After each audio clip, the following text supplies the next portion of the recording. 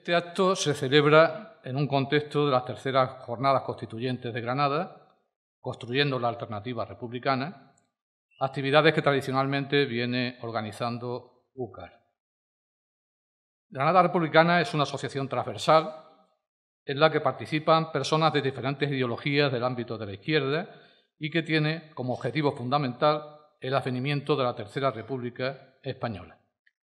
Todas las propuestas de nuestra asociación están hechas en clave de presente y futuro. Se trata de debatir sobre los problemas de la actualidad política en nuestro país que pueden aportarnos claves para la construcción del pensamiento republicano. El tema que hoy tratamos es de gran importancia por el papel que las Fuerzas Armadas pueden jugar en la construcción de un Estado republicano. El paso de la dictadura a la democracia en España se realizó con una gran resistencia de amplios sectores del ejército y las organizaciones democráticas que surgieron en su seno fueron depuradas y los militares que se destacaron fueron expulsados y sancionados. Recientemente hemos tenido que asistir a vergonzosas manifestaciones y comunicados de corte franquista realizados por un sector significativo de altos mandos del ejército. Hoy tenemos la fortuna de contar entre nosotros con uno de los militares que se han esforzado en conseguir unas Fuerzas Armadas realmente democráticas. Nos acompaña hoy Floren Dimas, oficial retirado del Ejército del Aire, miembro del colectivo de militares demócratas y vocal de la Asociación Civil Milicia y República. Nuestro invitado pasará revista a la actual situación de las Fuerzas Armadas españolas, destacando la necesidad de una profunda reforma y revisión de sus funciones para ponerlas al servicio de la voluntad popular y la soberanía nacional. La conferencia tendrá una duración aproximada de una hora y a continuación daremos paso a un coloquio con el público para que podáis intervenir y hacer las preguntas que consideréis pertinentes. Así es que, sin más, pues le paso la palabra, cuando termine de sonar el móvil, a Florendimas. Muchas gracias.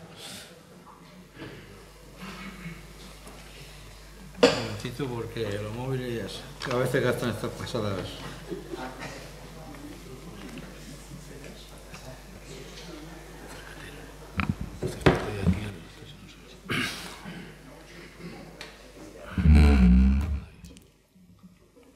Buenas tardes. Agradecer en primer lugar a UCAR la posibilidad que me da de estar aquí compartiendo estos instantes con todos vosotros. Perdonad que estute.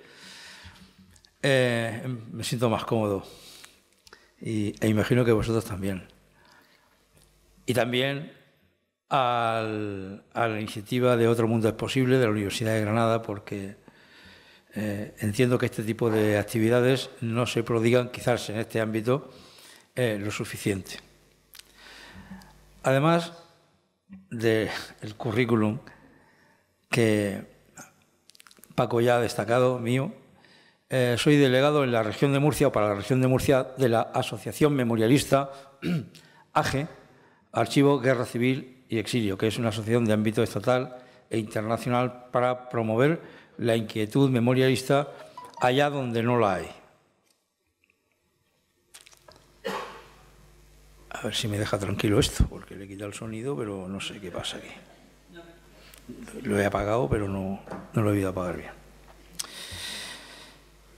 Bueno, arrancaremos la, disertación en una fecha muy próxima, tal como la del 6 del pasado mes de agosto, en que en el OK Diario, diario digital de nuestro amigo Eduardo Inda, hace público un manifiesto de 181 suscriptores. Y estos suscriptores son, como todos sabéis, altos cargos, mandos de las Fuerzas Armadas. Y los hay almirantes, generales, coroneles, en menor grado algunos tenientes coroneles y un sargento. No había transcurrido un mes, es decir, a finales del mes de agosto, la cifra había subido algo más de 600. Y a finales del mes de septiembre subía a 1000. Según declaraciones de los propios suscriptores, algunos de ellos para evitar medidas eh, y represalias por parte del Ministerio de Defensa, al mismo día siguiente de haber pasado de la situación de reserva a retiro, habían firmado. No lo habían hecho antes para no entrar en el tema de la falta de subordinación. ¿Quiénes son estos mil militares en actividad, perdón, en la reserva y en situación de retirado que han firmado este manifiesto de adhesión a la memoria del general Franco y de rechazo a la medida gubernamental de desalojar los restos de Franco del Valle de los Caídos. Ellos mismos nos lo han contado porque precisamente en ese primera noticia de OK Diario, que no sé si estará todavía accesible, venían los nombres, apellidos y a través de un rastreo medianamente somero en el Google, pues hemos sabido que hay ayudantes del rey, jefes de la Escuela de Estado Mayor, jefes de la División Acorazada de Brunete, de la División Aerotransportada, de la Escuela Militar de Montaña, es decir, de almirantes, jefe de Estado Mayor. O sea, ha estado la cúpula militar de los últimos 20 años, son hoy los suscriptores de un manifiesto de Desino Franco. Nos ha estado engañando a todos los españoles, a unos más y a otros menos, presentándose, abrazándose a la bandera de España y presentándose como los adalides de la defensa de los principios constitucionales. Y ahora, esas mismas personas que dicen abrazar y defender hasta la última gota de su sangre los derechos y libertades constitucionales son los mismos que se manifiestan a favor de un dictador. Ante una amenaza de esta categoría, un reto, diría yo, más que una amenaza, un reto de esta categoría, que no solamente es al gobierno, sino es al, espíritu democrático de cualquier español. ¿Cómo ha respondido en su conjunto la sociedad? Pues en su conjunto no ha respondido. Ha sido, digamos, por sectores y por fases. Hay primero una respuesta democrática que nace precisamente de entre sus propios compañeros. Aquí sí que hay algunos en actividad, otros en la reserva y algunos retirados no son ni 181, ni 600, ni más de 1000. Son 23. ¿Por qué? Me preguntaban a mí si es que en las Fuerzas Armadas no había más demócratas. Claro que los hay, pero tienen miedo. O sea, en las Fuerzas Armadas, el mero hecho de hablar de derechos humanos es considerado para que te miren ya de reojo. Inclusive, hablar demasiado de la Constitución y de los derechos constitucionales te hacen que te miren con cuidado. Hay una respuesta mediática. Bueno, tengo que decir que esta respuesta democrática inmediata al manifiesto de estos franquistas que la dan militares precisamente, eh, hay entre ellos miembros de un colectivo al que yo pertenezco, ANEMOI, en inglés clásico, Todos los Vientos, asociación que es no es una asociación, es un colectivo de militares demócratas. También está detrás un foro de militares demócratas, se denomina así, Foro Milicia y Democracia, que no, como empieza ese contramanifiesto dice que no tenemos, no nos situamos en ningún rango superior de, autoridad democrática ni de ningún tipo, simplemente nos consideramos simplemente demócratas. La respuesta mediática, esa sí se hace, se hace notar casi de inmediato, y lo hemos sufrido en prácticamente todas las cadenas de televisión, en donde se han paseado impunemente lo más granado del facherío hispano, saltando de plató en plató y sin ningún reparo, sin ningún, ningún freno, ¿eh? demostrando, mostrando la adhesión a Franco y queriendo desvirtuar, queriendo eh, restar su sentido al propósito del gobierno de quitar, de retirar los restos de Franco del Valle de los Caídos, tal y como proclama el famoso manifiesto. Pero, sin embargo, hemos tenido una orfandad absoluta en estas comparecencias, en esta respuesta democrática en los medios de comunicación, porque a mí la verdad es que me sonrojaba bastante, e imagino que algunos de vosotros y vosotras también les habrá sucedido, que me abochornaba ver la pobreza de los argumentos de las personas que participaban en esos debates, digamos que defendiendo el sector democrático. La respuesta gubernamental era la que yo esperé desde el primer momento. Es decir, como pasaban las semanas y el gobierno ni hacía ni decía, ni contestaba, ni nada de nada, yo escribí una carta abierta que tuvo su cierta trascendencia porque fue anterior a la carta de los a la respuesta democrática corporativa de los militares demócratas y la hice en soledad y se llama así Carta a los 181 militares franquistas. Se puede, todavía está en internet. Y además, se hicieron eco de esa carta abierta, muchísimos medios, todos ellos en Internet. ¿Y qué le decía yo? Lo mismo que he dicho al comenzar mi intervención aquí. Nos habéis estado engañando. Habéis estado abrazados a la democracia, diciendo que erais los paladines, que estabais dispuestos a derramar en defensa de la unidad de la patria, eso sí, eh, y de la Constitución hasta la última gota de vuestra sangre, ya no decir que la última gota de vuestra sangre la reserváis para el caudillo. Esa carta fue la que sacó un poco de, de la inoperancia o quizás la falta de respuesta inmediata al colectivo militar que finalmente pues, se decidió y saltó adelante. La respuesta gubernamental se hizo mucho de esperar. Se hizo porque ya no le quedaba otro remedio, porque ya estaba en toda la prensa, estaba en todas las emisoras de radio y en todas las cadenas de televisión. Y el gobierno ya tenía que hacer algo. ¿Y qué hace el gobierno? ¿Qué hace la ministra de Defensa de un gobierno socialista? Pues una reedición del juicio de Salomón. Dice que, mirando a ver la lista de los suscribientes del famoso manifiesto de adhesión a Franco, que solo detectan la presencia de cinco militares, altos mandos, todos, que están en situación de reserva y, en consecuencia, bajo la jurisdicción de la disciplina militar, que les prohíbe taxativamente pronunciarse en, en ese sentido. Y coge a otros cinco del manifiesto antifranquista o antidemocrático, de ellos tres en activo, un cabo de, ingenieros, un guardia civil y un soldado de infantería. Y también les abre un expediente por la misma razón. Es decir, vamos a hacer un ejercicio de ucronía y nos trasladamos hoy a Alemania. Y nos imaginamos, que ya hay que hacer un alarde de imaginación, ¿verdad?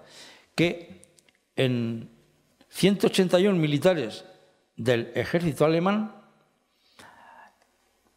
envían, hacen público un comunicado eh, manifestando públicamente su adhesión al cabo Hitler.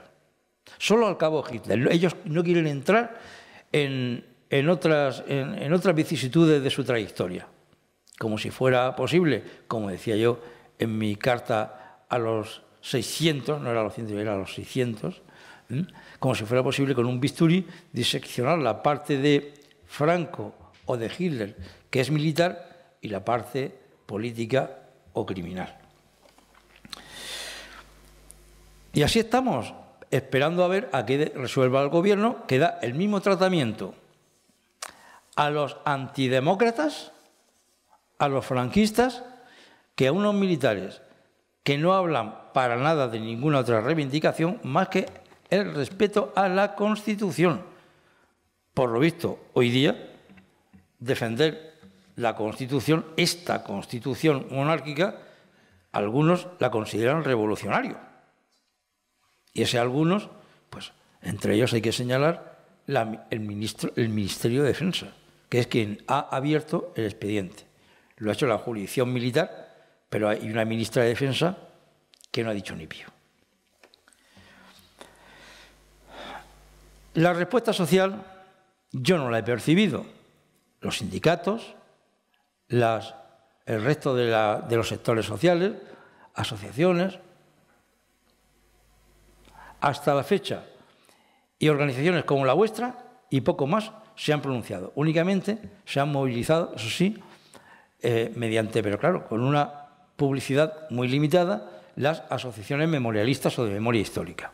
Porque ellas sí que entienden perfectamente el alcance que tiene un pronunciamiento como el de los militares franquistas. Y luego está la respuesta política, que era que también esperábamos, es decir, los partidos tendrán que decir algo ante una asonada de este calibre, donde toda la cúpula militar, mejor dicho, no están todos los que son, pero sí son todos los que están. Es decir, una parte muy importante de la cúpula militar durante dos décadas han resultado que eran franquistas y que siguen siéndolo, porque nadie nos garantiza que de un día para otro, o sea, hoy día un señor pasa de la reserva, de, la, actividad a reserva, y de reserva pasa a jubilado, y el día siguiente va y firma un manifiesto franquista, que nos garantiza a nosotros que ese relevo ideológico no se haya dado en las, unidades donde han estado andando. La respuesta política es la que esperábamos no solamente del gobierno, que ya hemos visto cuál ha sido su respuesta, atacar de la misma manera a los franquistas que a los demócratas, sino esperábamos que los sindicatos sobre todo los que se autodenominan sindicatos de izquierda, hubiesen comparecido con la energía y el escándalo que representa eh, esta situación, pero por lo visto nuestros líderes políticos de la izquierda se toman muy en serio sus vacaciones, porque ninguno, nadie ha dicho ni pío en relación con esto. Yo todavía estoy esperando a que se pronuncien, ¿eh? Esa ha sido quizá la mayor sorpresa que yo me he llevado. Y ahora veamos de qué manera la impronta franquista está presente en las Fuerzas Armadas. Para empezar, eh, en el plano mío personal, es decir, que yo no he perdido mi contacto con las Fuerzas Armadas, no de manera institucional, que no tengo relación, no tengo ninguna, sino por mi condición de investigador histórico y bueno, porque mantengo eh, amistad y personal con algunas personas, algunos están en activo, otros están en la reserva, pero me suelo dar una vuelta de vez en cuando por las unidades militares en donde todavía no me conocen lo suficiente. Y, inclusive fuera de lo que es el ámbito militar, pues sí que tengo todavía dos buenos oídos. No me funciona muy bien, pero hago un esfuerzo. ¿eh? Y sí que uno conoce el ambiente y uno se sorprende de que, pese al tiempo que hace que falta de las Fuerzas Armadas, veo que es que no hay diferencia. O sea, no es que hay poca diferencia, es que yo no percibo, a través de lo que me dicen y me cuenta, no percibo que haya habido cambios sustanciales en el pensamiento de la gente. Y por desgracia ese pensamiento es extrapolable también a la Guardia Civil. Y ya no puedo decir otro tanto porque no lo sé, en la policía y en otros ámbitos. En los rituales, Habrá, porque ya sabemos que en los aspectos taumatúrgicos de la vida humana hay cosas que son, desde el punto de vista eh, intelectual, son irracionales, no, hay explicación racional, pero a mí me espanta cada vez que veo imágenes como la del Cristo de la Buena Muerte de Málaga. A mí eso me espanta. En general me espanta cualquier, cuando veo un Cristo rodeado de bayonetas y de pistolas y de fusiles, a mí pues la verdad es que tendría que ser católico y tendría que o creyente y tendría que seguir produciéndome la misma sensación de pánico. Porque no solamente que es un escándalo en relación con la, eh, la laicidad del Estado español, que no se ve por ningún lado en imágenes como esas, sino además la legión, con lo que históricamente representa la legión porque no ha habido ningún momento, ni en la historia de la Legión, como ahora veremos, ni en general del ejército español, tierra, mar y aire, ningún momento en que haya habido una, como sí lo ha habido en los ejércitos alemanes, en los ejércitos belgas, holandeses, eh, italianos, en que haya habido un reconocimiento solemne y público de ruptura con sus antecedentes históricos. En los rituales, y seguimos todavía con los rituales heredados del nacionalcatolicismo franquista y que está inserto en las Fuerzas Armadas. Uno de ellos es la presencia del cuerpo de capellanes militares en las tres Fuerzas Armadas y además en la Guardia Civil, con sus patronas, sus fiestas religiosas, sus actos eh, además, actos muy glamurosos, muy, a los que se invita a políticos, se invita a sindicalistas, se invita a los, medios de comunicación, naturalmente se encarga de hacernoslo llegar a nuestros hogares a través de la radio y la televisión, y lo hacen con la mayor naturalidad del mundo, como si la televisión alemana pues hubiese alguna versión parecida a la del Cristo de la Buena Muerte a cargo del del ejército alemán.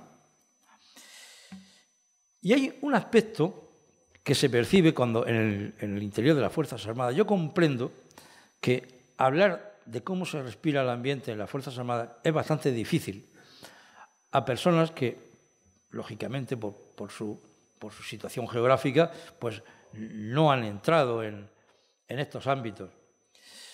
Pero es el ambiente. Eso no se puede ver de la calle, se ve cuando estás dentro. Cuando estás dentro, percibes pues fijarse, algo tan sencillo como es que entras en una sala de oficiales o de suboficiales y vas a tomarte un café. Y está puesta la televisión. Y contemplas como pues un jefe, un oficial, un, cabo, uno cualquiera, de los que están ahí en la barra con su uniforme, tomándose su café por la mañana bien temprano, y se asoma a la pantalla de la televisión, pues qué sé yo, eh, Pedro Sánchez, y con la mayor naturalidad del mundo dice cualquier disparate. Ahí está ese. O, como yo escuché a un capitán de fragata decir, este va a arruinar España. Eso, hace 15 años, no se veía en un cuartel. Ahora sí. Luego, decir que la situación ha cambiado, no ha cambiado, no es exacta. Ha empeorado en muchos aspectos. ¿Qué se respira en el ambiente de las Fuerzas Armadas? Se respira, ante todo, hay un culto. Pero el culto no es... El culto, hay una serie de palabras que son casi iconos, que es España, la bandera, la patria y el rey. Y menos el rey, las otras tres son insustanciales, porque estamos hablando de, de conceptos intangibles. La patria, la bandera, la bandera, quitando el trapo, la patria, España, pero no se habla nunca de los españoles. qué bonita una España sin españoles, ¿verdad? Porque no plantea conflictos. El culto al rey. Miren, quizá algunos no lo sepáis. Yo he estado cinco años en la Casa Real, en la Guardia Real, no en la Casa, en la Guardia Real, en la Escuadrilla Plus Ultra del Ejército del Aire. Y aunque dentro de la modestia de mi cargo allí pero yo ni era ciego ni era sordo.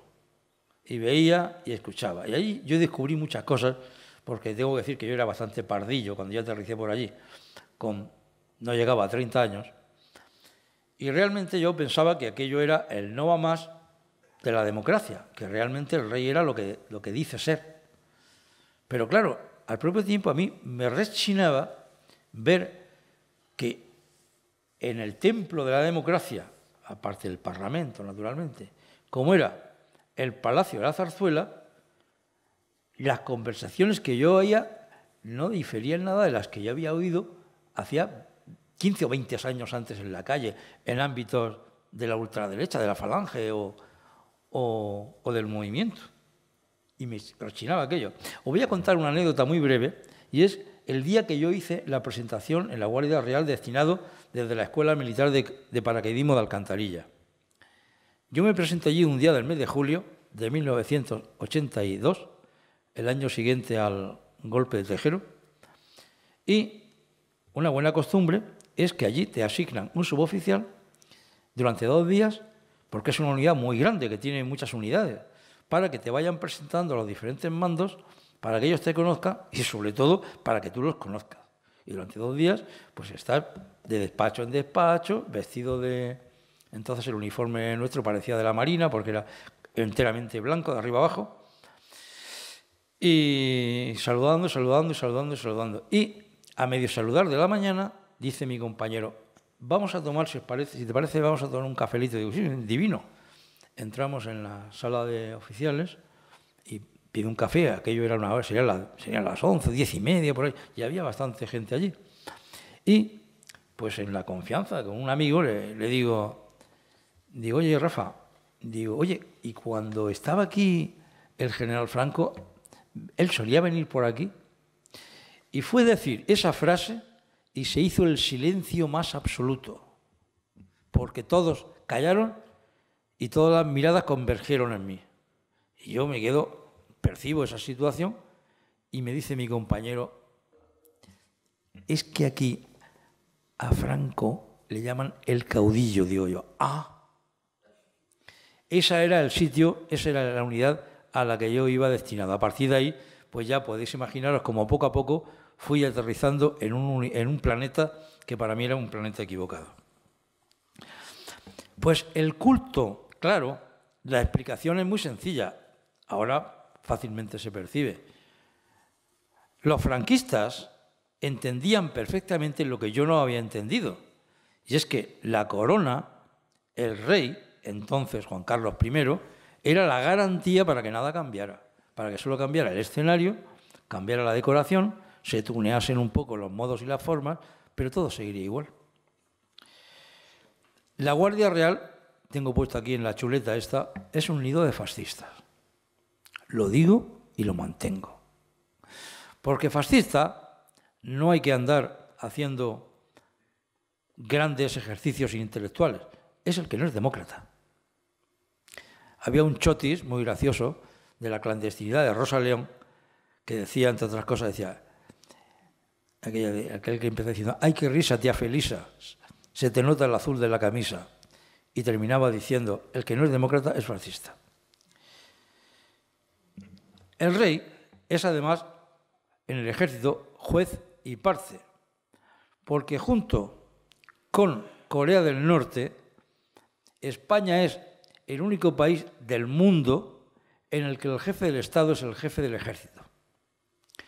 Y podrán alguno o alguna decir, no, y el presidente de los Estados Unidos, el presidente de los Estados Unidos es el jefe del botón nuclear, porque el mando directo de las Fuerzas Armadas, el jefe táctico, logístico y estratégico es el secretario de Defensa. O la reina de Inglaterra. Pues no no es el jefe del gobierno, perdón, del ejército inglés la reina de Inglaterra. La reina, Isabel II, es coronel de la Guardia Real, pero no jefe del ejército. esa categoría solo la tiene el rey Felipe VI y el presidente de Corea del Norte. Entonces, siendo juez y parte, eso es incompatible con el, con el fondo constitucional que prevé reformas en la Constitución. Porque cuando una reforma en la Constitución podría apuntar por cauces legales a un cambio de régimen, si resulta que el jefe del ejército, el que a su modo interpreta la Constitución, es el rey, pues ni el más iluso pensará que el rey se va a quedar quieto. Así, la jefatura del rey es una coartada para el conjunto del sistema para que nada cambie. Y los ciudadanos son los rehenes. Pero hay más. Y es el entorno del ejército, de los tres ejércitos. El entorno financiero, que no forma parte de la estructura militar, digamos que es el universo que se mueve en torno al ámbito militar el entorno empresarial y los entornos geopolíticos. Tanques anticuados comprados en exceso y arrinconados en su base de Zaragoza por dos razones. Una, porque son soletos, hablo del Leopard, y porque para los que están todavía en buena situación de operatividad, no hay presupuesto para gasolina, porque un carro de combate consume mucho combustible, para, bueno, para diésel. Aviones. Ahora hay que renovar el parque de los F-18, que ya tienen más de 35 años, y estamos hablando de que de más de 120 aviones. Esos aviones cuestan una fortuna. Y el F-18 es un avión que está configurado como un avión para embarcarlo en portaaviones. De hecho, se compró la Marina Americana. Pero ni siquiera el portaaviones recién comprado, que ese es otro tema, Juan, recién comprado, bueno, lo ha construido la Armada Española en astilleros españoles. El Juan Carlos I no está especialmente diseñado para ser apto para este tipo de aviones. Es un tipo de aviones para portaaviones. Y los portaaviones, a su vez, se fabrican para defender, como su concepción nos dice, intereses ultramarinos. ¿Y qué intereses ultramarinos puede tener España más allá de las Islas Canarias o las Baleares? Ninguno. Y las Baleares con un portaaviones son indefendibles. Y las Canarias menos. El tema de los submarinos ha dado pie para muchos chistes y bromas. Submarinos que no flotan, aviones que se caen, tanques arrumbados. Pero esto no es un chiste ni es una broma, porque hablamos de, de decenas de miles de millones de euros. El presupuesto de defensa es uno de los más abultados. Es uno de los más abultados, ahora daré las cantidades, y además es el quicio de las puertas giratorias.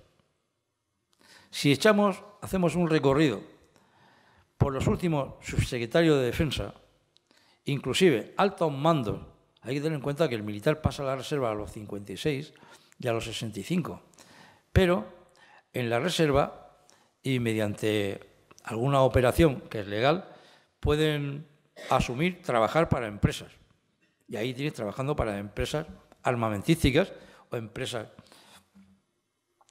muy importantes en España de mantenimiento de software, mantenimiento y creación de software, mantenimiento y creación de sistemas de radar, pues todo este complejo, mundo tecnológico están, están contratados por las mismas empresas para las que han estado en cuya, para la adquisición de cuyos elementos han intervenido.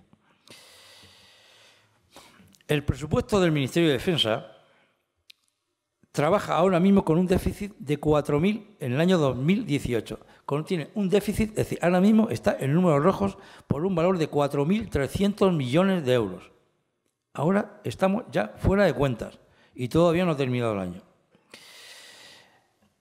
El gobierno se escuda eh, en que por imposición de la Unión Europea, perdón, de la OTAN, bueno, realmente es lo mismo, por imposición de la OTAN, en que vamos a por el 2% del PIB para el año 2023.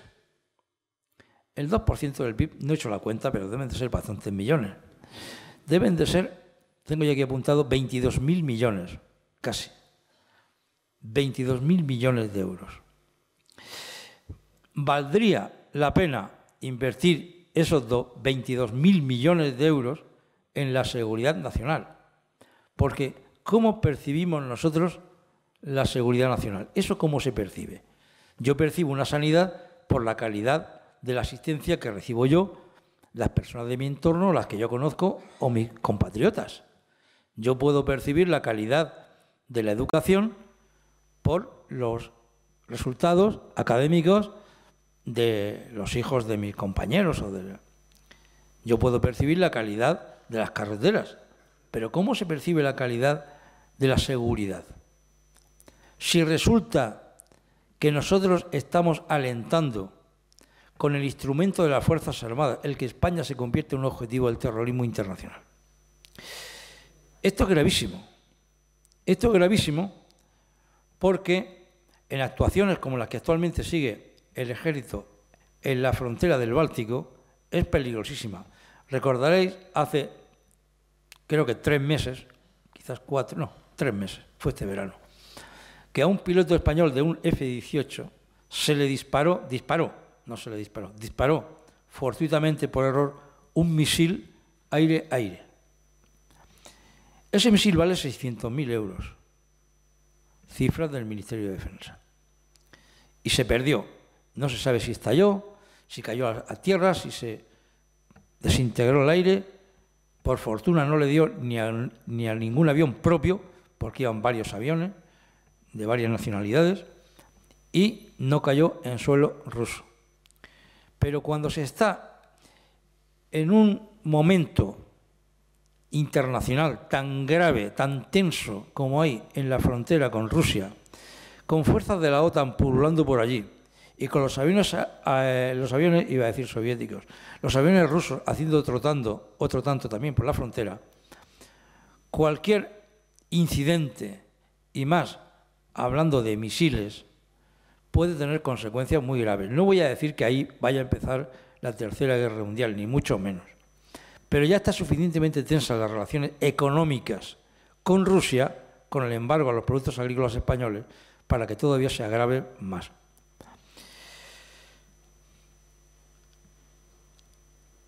Hay un caso que ya conoceréis, que es el caso del teniente Luis Gonzalo Segura, un teniente del Arma de Ingenieros que fue expulsado del ejército hace creo que dos o tres años por denunciar la corrupción en las Fuerzas Armadas. Para quien no conozca el caso, y en un minuto diré que él desde su puesto, que era un puesto administrativo, y en la documentación que manejaba, él veía ahí unas cifras muy raras.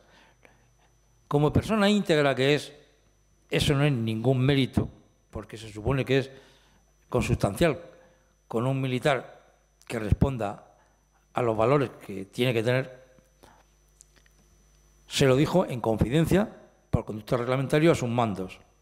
Respuesta de los mandos, pues es la respuesta que, te, que recibe de alguien que ya sabía él perfectamente que sucedía. Bueno, tú deja eso, intentando apartarlo, que no investigase, que bueno, que lo diese como normal y pusiera el sello. Bueno, le pasó como a mí cuando llego destinado a la Guardia Real, se sorprende, porque concebía que eso no, no estaba bien. Y continuó por conducto reglamentario. Pero cada vez que daba un paso más arriba al conducto reglamentario, veía que las sonrisas se tornaban hacia él cada vez más, más torvas. Y entonces decidió, ya en última instancia, eh, hacerlo saber a sus conciudadanos. Iba y escribió una novela, pero una novela en donde todo parecido con la realidad es pura realidad. Solamente cambian los nombres, porque los hechos están ahí. Y se llama Un paso al frente. Aquello, primero intentan secuestrar la edición. Y de hecho, cuando iba a salir a la calle, es impedida la distribución. Sigue adelante con otro libro ya más un paso al frente. Y este libro ya sí tiene, tuvo ya una, distribución relativamente, claro, no, no es, esto no es planeta. Y le llaman los periodistas y él comparece, él estaba en activo todavía, y él comparece ante los medios de comunicación, pues sosteniendo aquello que decía en su libro, no va a decir lo contrario. Y a continuación pues vienen, que ya le llaman a capítulo y le abren un proceso en el cual no se respetan las garantías procesales que todo ciudadano tiene derecho y le expulsan del ejército por, por hacer manifestaciones contrarias a los intereses del ejército. Contrarias a los intereses del ejército denunciar la corrupción. Porque si fuera incierta, y él denuncia, si yo presento una denuncia y esa denuncia la hago yo, basándome en pruebas o por lo menos en ciertas evidencias, y el juez considera que esas evidencias no dan lugar a abrir una investigación, me lo tiene que argumentar y con la misma se cierra el caso. Pero cuando lo que se está persiguiendo es, es precisamente el acto de denunciar y no la propia esencia de la denuncia, pónganle un nombre, tiene un nombre en justicia, y eso se llama prevaricación. Le expulsan de las Fuerzas Armadas y entonces dedica más de un año a preparar un libro que este sí ha tenido una aceptación bastante buena, que es el libro negro del ejército español. Es un tocho de 700 y pico páginas y se quedan ustedes alucinados de conocer cuánto se está ocultando a la población en relación con la corrupción en las Fuerzas Armadas. Y ahí las fuentes informativas son fundamentales, porque él sabe cómo se las gastan las Fuerzas Armadas a la hora de perseguir a las personas que dicen la verdad y que cuentan lo que pasa. La mayoría, aparte de confidencias de compañeros suyos y de su propio trabajo de investigación, es que la mayor parte aparece diseminado y aparentemente como desconectadas en todos los medios de comunicación, desde las facturas falsas en varios ejércitos por supuestos traslados con ocasión.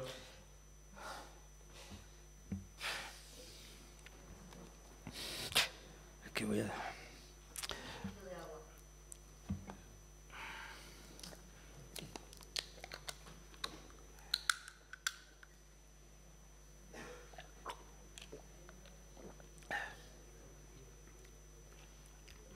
contratas falseadas y algo tan grave que es como la compra, el, estocaje en exceso.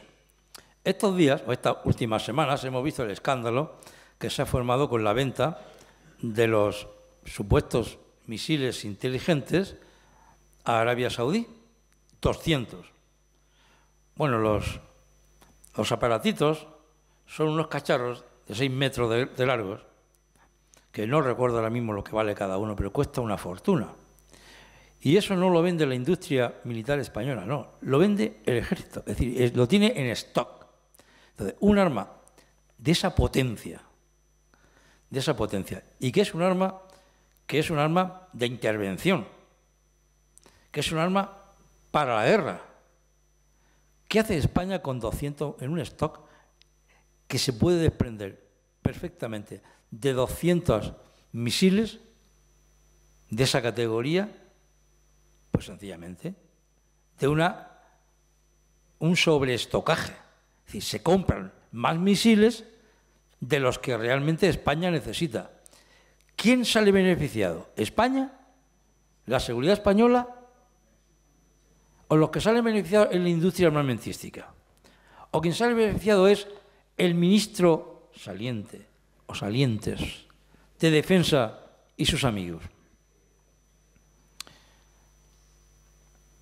Os ruego, si tenéis posibilidad, no sé si en la biblioteca lo tendrán, que le echéis un vistazo al libro del teniente Segura, el libro negro del ejército español. Y ya vamos cerrando mi intervención hablando de la OTAN. Diréis vosotros, ¿y qué tiene esto que ver con el franquismo en las Fuerzas Armadas? Pues mirad, tiene que ver que en los ejércitos europeos, en todos, sin excepción ninguna, anida un pensamiento bastante conservador. Yo he estado fuera de España en algunos sitios y lo he comprobado de que, de que realmente eh, la psicología del militar no varía mucho de un país a otro.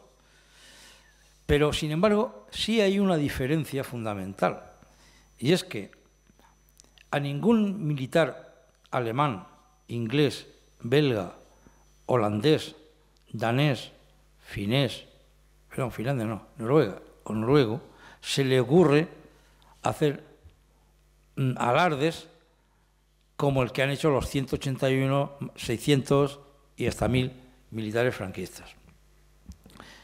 El peligro de la OTAN es que cada día que pasa es el sector más conservador va ganando sitio en la cúspide. Y claro, eso se comparte. Y ahora mismo el papel que España tiene en la OTAN es peligrosísimo porque nos coloca en una situación que no voy a decir que sea irreversible, pero sí que puede traer graves problemas de futuro, y es la normalización del armamento según los criterios de la OTAN. Es decir, que España, como el resto de los países, va perdiendo libertad en cuanto al armamento, en cuanto a la doctrina de empleo, en cuanto a la formación de los militares, porque se tiende a normalizarlo todo para que, digámoslo así, funcionase todo como si fuese un único ejército. El peligro que tenemos es de vernos involucrados en un conflicto que para nada representa los intereses del común de los españoles, para nada, para nada. Tenemos una OTAN intervencionista, una España que puede verse implicada en un conflicto serio, y tenemos que todavía queda por hacer en las Fuerzas Armadas Españolas una auténtica revolución democrática. Mirad, la institución militar, ni España ni ningún país del mundo puede calificarse de una organización demócrata, porque lo que realmente imprime carácter a la institución militar es el elemento de la disciplina es la jerarquía y la orden dada. Siempre y cuando la orden no constituye un delito, naturalmente, sea legítima. Entonces, digamos, y en España realmente eh, los militares no son demócratas, no se hace un test de ingreso en las Fuerzas Armadas para ver quién es demócrata ni se examina a nadie de demócrata. Únicamente es un compromiso que adquiere él o la que entra al servicio de las Fuerzas Armadas. Pero claro, en ninguno de estos países que he citado anteriormente, tienen asumido, existe, el, prima sobre todo la disciplina. Y la disciplina y la jerarquía parece como que es antidemócrata, pero no, porque los bomberos tampoco son una organización democrática, porque para que funcione tiene que haber una jerarquía de funciones. Pero es que en el ejército español, además de una jerarquía de funciones, existen otras jerarquías. Es la jerarquía ideológica. Y esa es la razón por la que tantos militares demócratas que hay en las Fuerzas Armadas no se atreven a abrir la boca en un país supuestamente de derecho y democrático. Entonces, ¿qué falta, qué le falta ¿Qué hervor le falta a las Fuerzas Armadas? No le falta un hervor, le falta un asado, un asado democrático. Porque en los centros de formación, ahí está la madre del cordero, se debería hablar, a la misma vez que se habla de la disciplina, de la patria, de la bandera, de las grandes batallas, de la sangre y del oro, y del culto al rey, se debería de hablar de dos cosas del pueblo español, de los ciudadanos, que nunca jamás salen los discursos de ninguno de estos prebostes, nunca, y se tendría que hablar del único referente honrado y demócrata que tienen las Fuerzas Armadas Españolas, que fue el Ejército Popular Republicano. Cosa que sí tiene, por ejemplo, el ejército francés, cuyo referente inmediato son las fuerzas de la Francia libre hasta la caída del muro, en el año 1989, como sabéis, la fiesta de las Fuerzas Armadas alemanas fue el 20 de julio. Y muchos recordaréis qué pasó un 20 de julio. Los que hayan visto la película Valkyria lo recuerdan. Fue el intento de asesinato, de ejecución de Hitler por militares del ejército alemán. Es decir, el ejército alemán considera, ejemplariza y da categoría de héroe a los que atentaron contra un dictador. Y todavía hoy, en el patio de armas del Bundesblock en Berlín, yo he estado allí presente en ese acto, las fuerzas de los tres ejércitos cada 20 de julio, hacen un acto sencillo pero muy solemne y depositan unas flores en memoria de las víctimas, que fueron muchas, de aquel atentado. Y ya termino diciendo que el mando, lo que la más rabiosa de las necesidades que hay en relación con las Fuerzas Armadas es que un rey no puede ser jamás el jefe de un ejército, porque en primer lugar debería ser inconstitucional, porque va contra la propia esencia de la Constitución. El rey no puede ser árbitro si tiene a la misma vez el garrote. Tiene que tener un control parlamentario. El ministro de Defensa, la autoridad del mando supremo, tendría que ser un civil, el ministro de Defensa. Y todas sus decisiones, las más graves, tenían que ser sometidas al refrendo del Parlamento español. Si no, entonces, el ejército no está para servir a la voluntad popular, sino para la voluntad de una única persona, el rey. Y termino diciendo, aunque sea, digamos, algo que no es de lo más relevante, que ahora mismo el ejército tiene una cantidad inmensa, enorme, de residencias, clubs, campos de golf, locales, eh, lugares hípicas de esparcimiento de su personal. Me parece muy bien, porque yo los he disfrutado, pero yo quiero que conmigo lo disfruten también mis compatriotas civiles. Entonces, esos bienes que se sostienen con el dinero público, con el dinero que os quitan de vuestra nómina, tienen que ser compartidos por todos los españoles. Si quieren realmente que haya una conciencia nacional de defensa, lo primero que tenía que haber es una defensa nacional. Y la nación, y nos enseñaron muy bien los, los republicanos franceses de 1789 es el pueblo. Nada más y muchas gracias.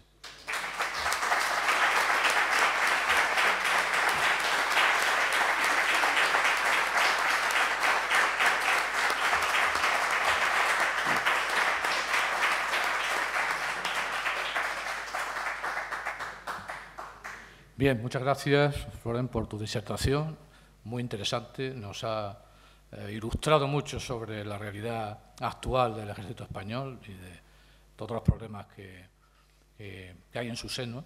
Y ahora pasamos, si os parece, a un debate, así es que podéis pedir la palabra y le vamos dando.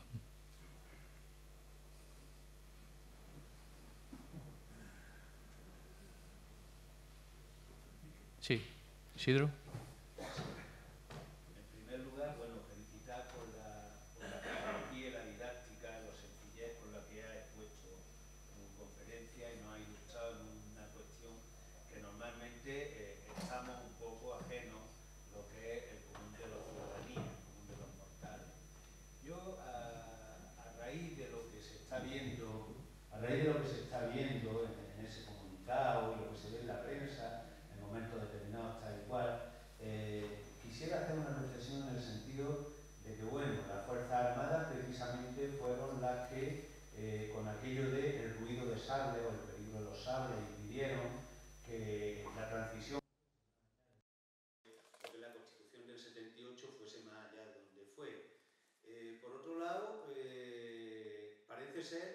Que si bien eh, se cambió a la vista de los hechos que vemos hoy día el poder eh, legislativo, eh, no tanto hubo cambios ni en el judicial, a los hechos me permito, pero mucho menos en el militar. ¿no? En el militar no solo no hubo ningún tipo de reforma, ni remodelación, ni de depuración, ni de limpieza, sino que con sorpresa, hoy día cuando leemos esos comunicados, pues vemos apellidos que nos ponen, por lo menos a mí, el Bello de Punta, Muñoz Grande, el hijo de Tejero, etcétera, etcétera, etcétera, ¿no? Entonces, claro, ¿hasta qué punto esa gente o ese entroncamiento, por la ideología que representan, no por el apellido, por cierto, no es cuestión de apellido, una cuestión de herencia, eh, sino que por la ideología que representan, hoy día son un elemento troncal ¿eh?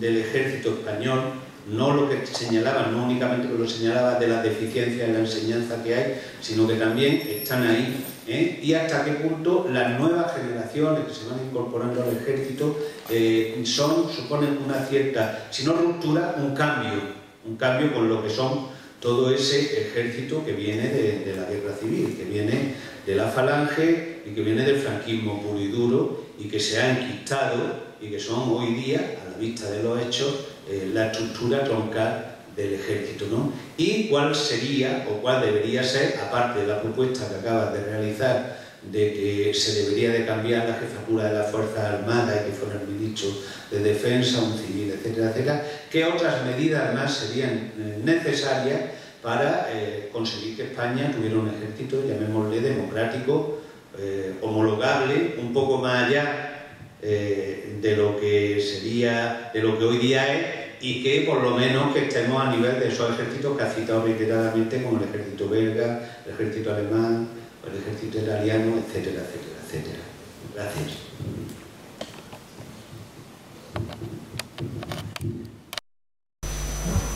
Una de mis fuentes informativas es el diario de Eduardo Inda, OK Diario. Yo lo leo todos los días, por lo menos los titulares. Y luego, según veo, profundizo o no. Pues hoy, en referencia a algo que sucedió ayer, el teniente general, que es el máximo nivel de empleo, de ahí ya pasa a capitán general, que es el rey. Es decir, alguien que tiene el máximo grado que se puede llegar a de un teniente general, que es el teniente general jefe del mando de operaciones del ejército de tierra, asiste a un acto cívico de un colectivo eh, homófobo, declaradamente homófobo, como es Hazte oír aquel del autobús que entrega sus premios anuales. Y este año le ha tocado al Ministerio de Defensa. Entonces, en un acto en un hotel céntrico de Madrid, se persona este teniente general de uniforme, aparece en la fotografía en OK Diario, y ¿qué dice en su discurso? Que acude designado por el, por el Ministerio, no dice ministra, dice por el Ministerio de Defensa, y que además lo hace con muchísimo gusto. En principio podríamos pensar, bueno, en la jerarquía militar te ordenan que vayas y vas y tú puedes pensar, pero es que le añade de su propia cosecha. Decía, sonriendo, decía el artículo, reconociendo la enorme dificultad que existe hoy día, así con retintín, para expresar la identidad del sentir de colectivos como el de Hazte Oír con el del Ministerio de Defensa, ambos defensores de los mismos valores. ¿Cómo va a haber un cambio en las Fuerzas Armadas si con un gobierno socialista uno tiene oportunidad de leer estas cosas en la prensa digital española? ¿Dónde está el cambio? O sea, eso sería para que este señor hoy, con un policía militar a cada lado, estuviese ya en la prisión militar de Alcalá, pendiente en arresto provisional, pendiente de que se le abriera el sumario correspondiente, por eso. Pero no, prefieren a cinco demócratas firmantes de un manifiesto constitucional abrirles un expediente sancionador. ¿Que ¿Qué hace falta? Pues yo creo que fundamentalmente, porque esto como sucede en temas educativos, hay, tiene que seguir varios cauces transversales. Pero el principal de todos, a mi juicio, es la formación, las academias militares. Si no hay una formación académica, y claro, para que empiece el cambio en las academias militares tienen que cambiar los programas, los programas formativos y el profesorado. Porque claro, si mantenemos un profesorado que ya sabemos cómo piensa, con un programa, por muy nuevo que sea, pues ya sabemos lo que pasa cuando te cambian un programa, pero tú piensas, pues vas y le das la vuelta. Como no tienes una cámara allí y tienes tu libertad de cátedra, pues haces un poquillo lo que quieres. Tiene que ser la revolución democrática en la formación del militar y luego después ya la jerarquía, claro, pero la formación tiene que ser en valores democráticos, en respeto a la voluntad popular. Y eso se tiene que hacer naturalmente. En el actual marco, con un jefe de Estado, que es el jefe del ejército, pues es empezar la casa por el tejado, porque a mi juicio tiene poco sentido eh, hablar del pueblo y hablar de la Constitución si esa Constitución es la que la base legal para que el jefe del Estado sea el jefe del ejército. Es decir, que lo primero es el cambio, el cambio de régimen. O sea, vamos a, a mi juicio, es casi poco menos que imposible que haya una revolución democrática en las Fuerzas Armadas si no hay, un cambio, no hay un cambio en, la, en, en, el, en, la, en el Estado, en la forma de poder social, político y económico. Y bueno, también como otro chascarrillo, ya veis que esto es muy heterodoxo.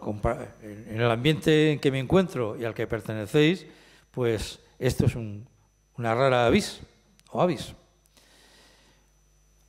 En Francia, yo he tenido el honor de asistir a varios actos relacionados con la resistencia. Eh, oportunidad que me ha brindado la asociación a la que pertenezco, AGE, Archivo Guerra Civil y Exilio. Y desde luego, creed que es que uno se emociona cuando, por ejemplo, en Bayona, un 14 de julio, fiesta nacional francesa, se homenajea a no solamente a los soldados de la Francia libre que luchan contra la ocupación nazi y contra el gobierno colaboracionista de Vichy, y que recuerda a los guerrilleros españoles, polacos y de algunos otros países del este que combatieron por la Francia libre. Recuerdo con. Tengo un recuerdo muy grato hacia un 14 de abril pero esto hace ya por lo menos más de 15 años, en Chamonix, en los Alpes franceses. Bajaba yo de Leguil de Midi y al llegar abajo a la estación del Telecabina veo la gran explanada que hay frente a la estación, una gran multitud, muchas banderas. ¿Qué pasa? Y me dicen, es la fiesta nacional. Ah, y ahí había una tribuna. Como ya Estábamos cansados, pero bueno, ¿cómo, ¿cómo me pierdo yo esto? si están los míos, aunque sean franceses. Y yo presencié aquello. ¿Y quiénes estaban en la tribuna? Por supuesto, las autoridades militares, las autoridades civiles, el alcalde, pues lo normal en cualquier fiesta de este tipo. Pero veo ahí un montón de señores de paisano que por la edad y por las medallas que lucían, pues no hacía falta ir a Salamanca o a Granada para saber que eran guerrilleros, que eran personas que habían pertenecido a la resistencia, que eran del maquis o de la resistencia urbana. Y después de la fiesta, y eso es lo que eh, la parte más grata del recuerdo, es que veo a un señor que llevaba una banderita como la, de alguna de las personas que os las ponéis algunas veces, que es la tricolor. Y me quedé, esperé a que terminase un poco aquello, esperé a que las enfermeras de la Cruz lo bajaran de la tribuna y entonces hablaba español muy poco, pero fíjese, de todos los años, pues, desde el año 39, que llevaba viviendo en Francia, por lo que habría pasado aquel, aquel español. Y hablaba español, pero con acento francés. Y entonces le dije que sí era español, me dijo que sí, me contó así muy brevemente, porque la enfermera iba, iba acompañándose en el carrito, porque ellos desfilaron. Él iba en un carrito en una silla de ruedas. Pues mire, mirad, eh, eso es lo que yo quiero una reforma de mi país. Yo quiero un ejército que tenga como referente un momento democrático español. No por lo que en la historia representa, sino por lo que en la convicción personal representa. Y los militares son un poco lo que les forma. Si los forman en valores constitucionales, en valores demócratas, terminarán, serán conservadores. Serán conservadores en un sentido muy amplio, no necesariamente en el tipo ideológico, en casi todo, muy del orden, aunque sea orden de apariencia, ¿no? Pero no golpistas como tenemos aquí, que es lo que tenemos. No voy a decir que todos lo sean. El problema está en que es muy difícil cuantificar y fijarse bien el alcance de lo que voy a decir, cuántos no lo son. Porque es que están callados, tienen miedo a hablar, porque les van a perjudicar en su carrera si sus mandos conocen que son demócratas algo inconcebible en cualquier país europeo. No sé si he contestado a lo que me has preguntado. Sí. Mercedes.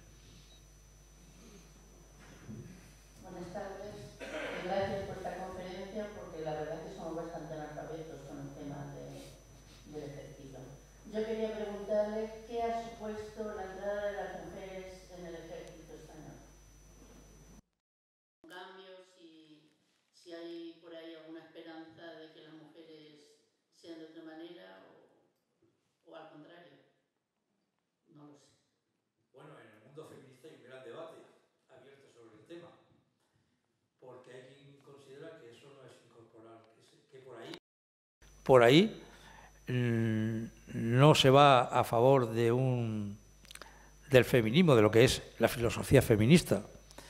Pero claro, normalmente suele ser en ambientes antimilitaristas. En ambientes que no lo son, no digo que sean militaristas, en ambientes que no son antimilitaristas, pues yo creo, mi opinión y mi percepción es de que se recibe bien en general, no solamente la mujer en las Fuerzas Armadas, sino la mujer en la policía, la mujer en la Guardia Civil o la mujer en los bomberos. Es decir, ¿por qué la mujer tiene que ser excluida de cualquier colectivo del tipo que sea? Del tipo que sea. La mujer en las Fuerzas Armadas, yo la verdad, en lo que percibo en mis rondas por las bases y bases de Marina, de la Armada y del Ejército del Aire, del Ejército de Tierra menos. Eh, cuando voy a Madrid sí, pero solo eso. Pues yo veo que una incorporación se pensaba que iba a ser algo difícil, algo pintoresco, y ni es pintoresco ni es difícil, porque vamos, la relación que yo veo, claro, es una relación muy superficial, muy de fuera. Yo no estoy en las unidades, dentro. Pero lo que comentan mis compañeros, lo mismo que la incorporación de extranjeros. O sea, es que una parte importante, yo creo que entre el 15 y el 20%, sobre todo la Armada, son extranjeros, sobre todo latinoamericanos. Pues no hay ningún problema, ninguno. Y con las mujeres, los problemas puntuales que hay en relación con la presencia de la mujer en las Fuerzas Armadas, vienen relacionadas siempre con lo mismo, con el acoso. Pero por lo que percibimos, son casos puntuales. No es, no hay una no es un hecho eh, normal ni siquiera repetido el que se den casos de estos. En fin, yo tampoco tengo elementos para poder establecer una proporción y poder cuantificar si son muchos o pocos. Realmente no lo sé, pero por las conversaciones que tengo por mis compañeros que están en activo, la mujer ha sido bienvenida. Al principio, claro, es un hecho, como todo lo nuevo, pues resulta extraño eh, ver mujeres en funciones que desde los tiempos de Nabucodonosor practicaban los hombres. El, hombre, el macho cabrío, pues era el dueño de la situación militar. Y claro, cuando ves a una mujer que no solamente está de sanidad, sino que la tienes eh, delante de una pantalla de radar o, con un fusil en una unidad especial operando, en los SIL españoles, por ejemplo, hay, eh, que es la mejor unidad, una de las mejores unidades que hay, Infantería Marina Española, eh, y hay mujeres, mujeres infantes, y funcionan perfectamente. Luego ya todas las cuestiones del rendimiento físico por razón del sexo y demás, pues es una cosa que está asumida y se compensa con otras cualidades. Pero vamos, no te puedo decir datos mm, de porcentajes o cuantificadores porque no los tengo.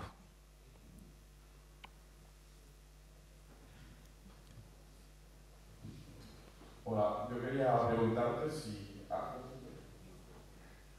si aparte de la situación que hay en el ejército, de la que, estamos hablando, hay una parte que está claro ¿no? que la cúpula tiene presente una reforma, pero si, o por lo menos de un análisis que hago, que gran, parte de esto también tiene la culpa de la izquierda, en, el sentido de que ha abandonado la Fuerza Armada. En la izquierda se crea un discurso, una teoría que, por lo general, bueno, por lo menos también creo que la generación política, a lo mejor mía, posterior a la mayoría de vosotros, pero en la que se da por hecho un antimilitarismo que tampoco profundiza mucho, en el que se da por hecho que los progresistas no van al ejército, que no se crea un relato, una teoría sobre qué tipo de ejército queremos o que la república qué ejército tendría.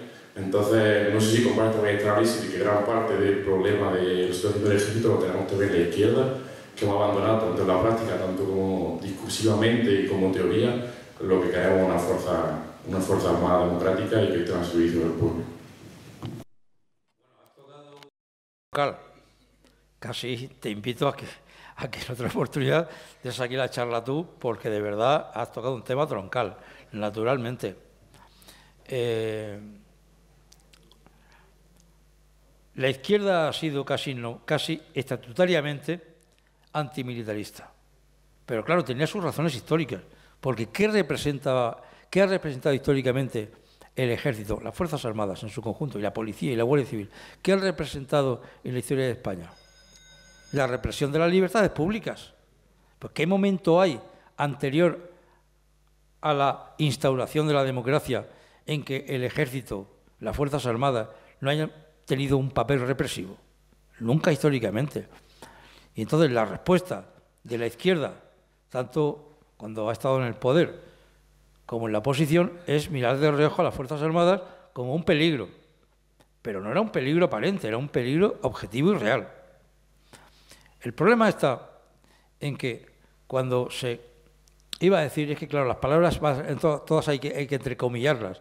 Cuando avanza, va avanzando la democracia, vamos a elevar esto a la categoría de democracia, sin el plena, sin lo de plena, eh, pues es verdad que la, la, la izquierda ya se manifiesta menos antimilitarista, pero como muy bien has dicho, abandona el tema de las Fuerzas Armadas. El tema militar queda fuera del debate político y ni los vemos a nivel local, ni a nivel territorial, ni a nivel del Estado, ni a nivel parlamentario. Yo me pregunto muchas veces de qué hablan los partidos políticos de la oposición o los partidos de izquierda, de qué hablan en las comisiones de defensa. Porque mirad que yo y algunos de vosotros tengo los radares muy potentes ya durante años a ver qué se dice y yo no oigo nada. A mí no me llega nada por las vías por las que me llegan otras noticias sobre los temas que se hablan lo que se habla en Comisión de Defensa, algo te llega. Lo que se lleva en la Comisión de Política Exterior, algo te llega. Pero lo que se habla en defensa, yo nunca consigo enterarme de qué se habla allí. Y no hay luego más que ver los programas políticos, que yo tengo la curiosidad morbosa de leérmelos, no todos, ni todo, en cuando llegan los momentos electorales, y el tema militar lo tiene pues como una de las Marías. Ahí queda eso, como un tema así, sin concretar. Y has dicho muy bien, ¿qué modelo de ejército? Claro, aquí entraríamos ya en otra, en otro, en otro área, que es el modelo de ejército español, que no encaja mm, ni muy poco ni mucho en el tema que nos trae, que nos trae hoy aquí, pero que en mi opinión el ejército está para la defensa territorial de España. Y la defensa territorial de España no se defiende, como nos quieren hacer creer, en la frontera del Báltico. Porque ahí lo único que podemos tener es el inicio es en la punta de la mecha, ¿eh? de la mecha que los puede explotar aquí. Y hay otro tema que no lo he dicho, y es que ten cuidado que te podrán movilizar, porque estamos en puertas de volver a instaurar el servicio militar obligatorio. Alemania ya lo ha vuelto a hacer. Entonces, en un ejército democrático, a mí no me daría miedo, pero ya bastante tenemos con tener el ejército que tenemos para que encima sea más numeroso, porque, fijarse, hay un cierto militarismo en la juventud española que no es democrático. Hay muchos chicos jóvenes y chicas jóvenes que los oyes hablar eh, y me da miedo de qué sería si vistieran un uniforme militar con esa mentalidad. Y tú lo tendrás, los tienes cerquita, los tienes muy cerca. Imagínate, esos compañeros y compañeras tuyas, que se te echan las manos a la cabeza cuando los oyes hablar, ponles un uniforme. Es que ya no hace falta incentivarlos, ni formarlos, es que ya están ellos incentivados. Y como los demócratas en el ejército se callan y los que no son demócratas hablan fuerte, por esa razón digo que la reforma que tenemos en puertas es la introducción de nuevo del servicio militar obligatorio. Quizás con otro formato, quizás les paguen un pequeño sueldo, quizás, en fin, tengan más relajado en cuanto al régimen interior y todo eso. Pero la postre, para mí eso no soluciona el problema, al contrario, lo agrava. Y desde luego, el modelo de ejército español, todo lo que no sea la defensa del territorio nacional, para que no, lo que no hacen falta casi más de 180.000 hombres, no hacen falta, ¿eh? hacen falta, pues, ejército muy pequeño, muy especializado, muy bien equipado, pero no se trata de defender. Hoy día no se puede defender la frontera de un país ¿eh? poniendo una muralla de hombres y una muralla de tanques. Eso ya se acabó en 1945. Hoy día se defiende de otra manera, que es mucho más tecnológica, intervienen los misiles, la artillería antiaérea, los misiles de antiaéreos, eh, aviones, pero si está comprando aviones para embarcarlos en portaaviones, para defender, para ir a, dar la batalla a decenas de miles de kilómetros o a miles de kilómetros, no está defendiendo los intereses de España. La milonga que nos están vendiendo ahora mismo es de que Los intereses de España se defienden donde hay conflictos lejanos que pueden tener repercusión aquí en forma de terrorismo. Pero bueno, si es el contrario, si es que son esas intervenciones a miles de kilómetros de aquí, lo que han convertido a España ahora mismo en un objetivo de primer orden terrorista. España, y lo sabéis muy bien, hace de 20 años, quizás 25 o 30 años para atrás, ha tenido buenísimas relaciones culturales, diplomáticas y comerciales con todos los países árabes. Lo recordáis, ¿verdad? Los que ya peináis canas como yo. Bueno, ya peino pocas, ¿no? Pero, y sin embargo, ¿qué queda, qué queda de aquello? No queda nada.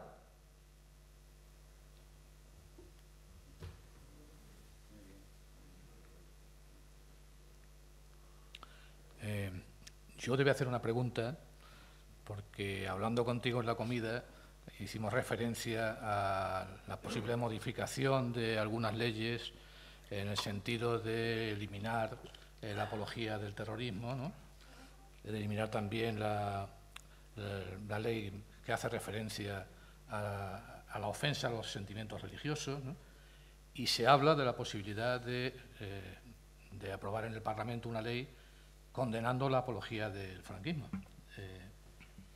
¿Qué nos podría decir sobre eso? Porque en el caso de los militares que han firmado el manifiesto, al estar ya fuera del ejército, difícilmente puede haber eh, una, digamos, una sanción importante, pero si están haciendo apología del terror, de, perdón, del franquismo, pues podrían perfectamente estar cometiendo un delito si estuviera regulado eso. Claro, perfectamente. Pero yo le doy la vuelta a casi todo, y esto no escapa. Es, y no sería mucho más eficaz y resolutivo declarar ilegal el franquismo? Porque es que si no, vamos tomando medidas por aquí, otra medida por allá, y hay dos medidas que estamos esperando los demócratas españoles a ver si alguna vez algún gobierno digno se atreve a coger el toro por los cuernos. Y es la anulación de la ley de amnistía de 1977 y la ilegalización de pleno derecho del franquismo. Porque si el franquismo es ilegal, es ilegal todo lo que se mueve, ilegal y punible penalmente todo lo que se mueva en torno a la exaltación, justificación, publicidad, etcétera, del franquismo. De hecho, el mes de noviembre del año pasado, el gobierno, perdón, el Partido Socialista presentó una proposición no de ley de reforma de la memoria, reforma integral de la ley de la memoria histórica. Pero muy cucamente el gobierno hurtaba la ley de amnistía de 1977 y hurtaba la ilegalización del franquismo. La pregunta que había que hacerle a Pedro Sánchez de su partido es, ¿por qué no anuláis la ley de amnistía de 1977? ¿Por qué no ilegalicéis el franquismo? Tenéis las herramientas. Es muy posible que tengáis los números parlamentarios. ¿Por qué no lo hacéis? ¿Cuál es el misterio que nos estáis ocultando? ¿Qué trampa habéis tejido en torno a 46 millones de españoles para engañarnos con ese tema? La respuesta la sabemos muchos y están en los pactos secretos. No es una broma, no es un, cuento de terror, pero ese acuerdo existe y están firmados. No existe otra explicación. Que un gobierno que se dice socialista y mantenga todavía una ley de impunidad que ha sido derogada en Chile, en Perú, en Argentina, en Guatemala y en Uruguay, que yo sepa, y aquí no. Y tienen que venir juezas de fuera de España a intentarlo hacer, a intentar hacer valer la ley internacional de derechos humanos que el Estado español tiene suscrito y ratificado y en virtud de la propia Constitución española incorporado al corpus jurídico del Estado español, como la ley hipotecaria, como la ley de navegación aérea, como cualquiera de las leyes internacionales que tiene suscrito. Pues las leyes internacionales también están suscritas y ratificadas por el Estado español. ¿Por qué no las cumple?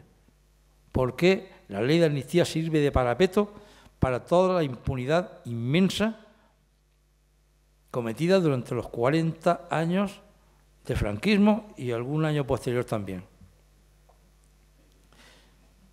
Y en cuanto a esa frase que recuerdo que lo hemos comentado mientras tomábamos algo, eh, de los sentimientos, de herir los sentimientos religiosos, le he dicho yo sí, leyéndome, ¿verdad Paco? Te decía, bueno, se habla de que de despenalizar lo que hasta ahora se denomina pues eh, agresiones a los sentimientos religiosos, ¿no?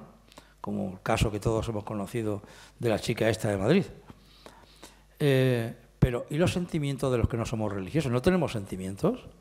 O sea, los laicos no tenemos sentimientos. O sea, si a mí me agreden, ¿yo no puedo quejarme? O sea, si alguien se caga en el ser supremo, cualquier católico o inclusive no católico puede llegar y presentar una denuncia y el fiscal se suma gozoso a presentar cargos. Y a mí me dicen, y a mí me cortan mi calle el día de Viernes Santo y la semana previa a las 11 y las 12 de la noche, la Hermandad del Cristo de la Buena Muerte, perdón, de la, de la Sangre, está ensayando con el trono a cuesta, tocando el con los tambores y con las cornetas, a las 10, a las 11, a las 12, cae arriba, cae abajo, que no me dejan dormir, y yo no tengo derecho a quejarme. Porque, claro, hacerlo podría herir los sentimientos religiosos de los que están ensayando. Este es un país de pandereta en algunas cosas.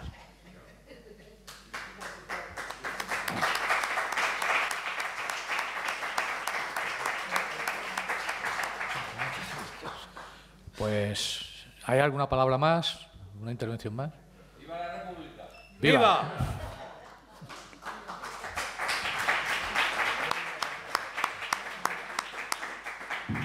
Pues damos las gracias a Florendimas y cerramos este acto. Gracias. Gracias a todas y a